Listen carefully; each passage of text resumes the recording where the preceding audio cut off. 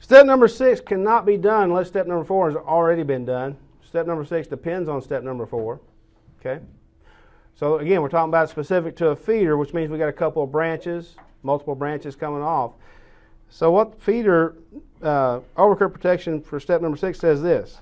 It says the feeder overcurrent protection 430.62 says select the largest branch circuit. So highlight the words largest branch circuit. Stop highlighting. It says overcurrent device.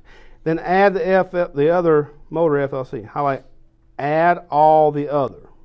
Stop highlighting.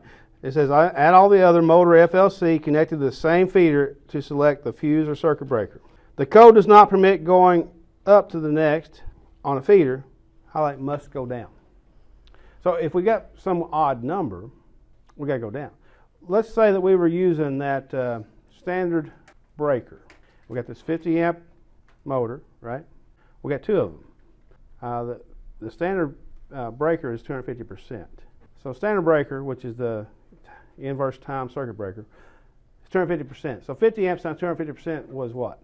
How many amps? 125 amps. Take one of those, the largest one, then add the FLC of all the others. So 125% on one of the branches, or 125 amps on one of the branches, right, was the size of the inverse time circuit breaker. Then the, if we have two of these, we're going to add the FLC of the other, right? FLC is 50. So 125 plus 50, now we're at 175. Now the feeder circuit breaker would be 175, as long as it's standard size.